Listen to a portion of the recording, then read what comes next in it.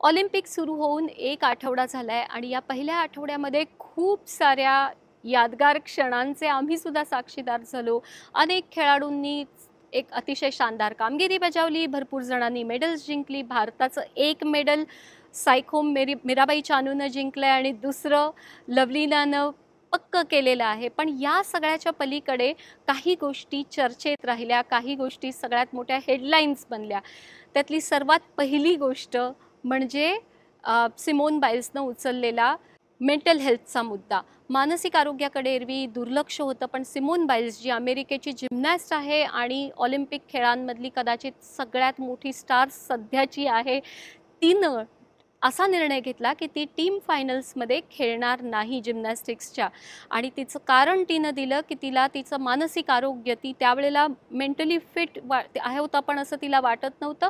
आणि तिनं आपल्या मानसिक आरोग्याला ऑलिम्पिकच्या पदकापेक्षा जास्त प्राधान्य दिलं. या एका निर्णयावरतून सिमोनचं कौतुक होतं आहे काही जणांनी तिच्यावरती टीकासुद्धा केलेली आहे. पण काही का असे ना तिच्यामुळे सगळेजण खेळामधल्या मानसिक आरोग्याच्या मुद्द्यावरती सुद्धा बोलत आहेत आणि भारतीय टीममधल्याही काही प्लेयर्सशी आम्ही त्याविषयी बोललो होतो आणि त्यांनीसुद्धा हे मान्य केलं की अशा पद्धतीचा दबाव खेळाडूंना त्या त्याचा सामना करावा लागत असतो. पण त्याविषयी बोललं फार जात नाही. त्यामुळे एक चांगली सुरुवात सिमोननं केली आणि त्यानंतर दुसरा मुद्दा जो चर्चेमध्ये होता ज्याची सगळ्यात जास्त चर्चा आधीपासूनच खरं तर होते आहे तो म्हणजे महिलांचं खेळामध्ये ज्या पद्धतीने चित्रण केलं जातं. एक सेक्शुअलाइज इमेज महिलांची निर्माण केली जाते महिला खेळाडूंची खास करून. आणि त्याला अनेकांनी विरोध केला होता. हा विरोध दर्शवण्यासाठी जर्मन टीमनं फुल बॉडी सूटमध्ये खेळायला उतरायचं ठरवलं. जिम्नॅस्टिक्सच्या इव्हेंटमध्ये तर नॉर्वेजियन टीमवरती खरं तर यामुळे त्यांना फाईन भरावा लागला कारण बिकिनी बॉटमच्या ऐवजी त्यांनी शॉर्ट्स घालून खेळायचं ठरवलं. आणि ह्या सगळ्यावरतून खूप गदारोळ आणि चर्चा झाली की महिला कुठले कपडे घालतात यावरतून त्यांचं खेळातलं कामगिरी त्यांच्या खेळातल्या कामगिरीकडे बघायचं की त्यांच्या कपड्यांकडे बघायचं?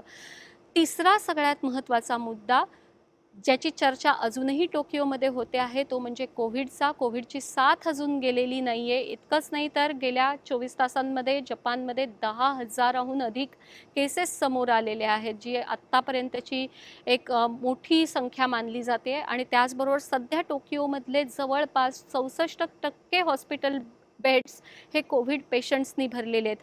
आणि अशा परिस्थितीमध्ये ऑलिम्पिकचं आयोजन होतं आहे. त्यामुळे सगळ्यांच्या मनामध्ये कुठेतरी ही चिंतेची एक बाबसुद्धा आहे. सगळ्यांच्या डोक्यामध्ये खेळ सुरू असतानाच ही एक चिंतासुद्धा कुठेतरी असतेच. आणि त्यामध्येच हे खेळ होत आहेत पुढे काय होतं त्याच्यावरती आपली नजर राहणारच आहे. जानवीमुळे बी बी सी टोकियो